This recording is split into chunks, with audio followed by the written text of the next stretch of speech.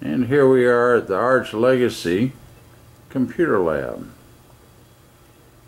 Brand new computer lab built and maintained by Bikers Cap Incorporated for Arche Legacy, a 501c3 charity. On the web at archelegacy.org, spelled A-R-C-H-E-L-E-G-A-C-Y dot org. And everybody knows how Bikers Cap is spelled.